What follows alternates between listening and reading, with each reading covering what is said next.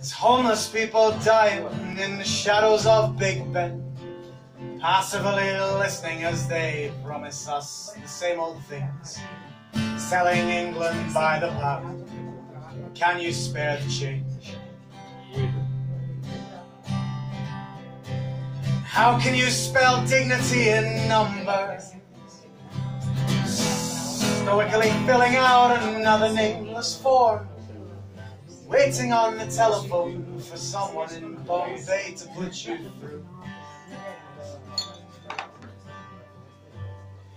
The government has deemed that our sense of decency is up for sale. For 50 pounds a week we show subservience, adherence to the man.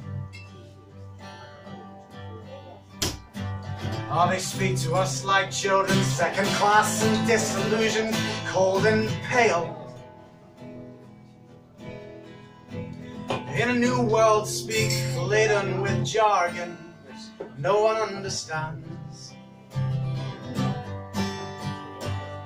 Around the block for food banks, crawling on all fours, spit shine a policeman's boots so desperate for some more waiting for the new dawn that was promised, but morning never comes.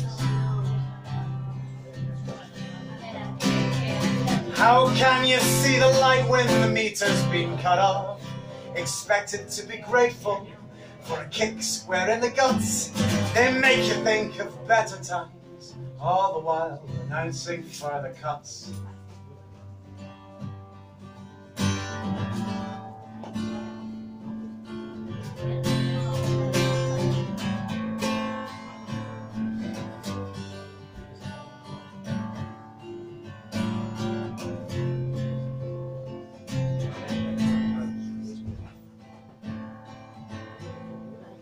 Everywhere you look, it's the land of hope and glory. Oh, Britannia rules the waves. Another Churchillian story while the marriages of princes revering dead dictators on the BBC. Oh, ah, we're all in this together, they shout from marble piles on the mall. Elbow grease and carry on some Anglo-Saxon values from the fore. Just an ordinary worker, the dream of common man, scrabbling like a rat to make the most of life and do the best he can. There's millions behind him, but he's always on his own. Winds of change lie listless, and that's the way they'll stay. Sitting drinking seven cups, PG Tips a day.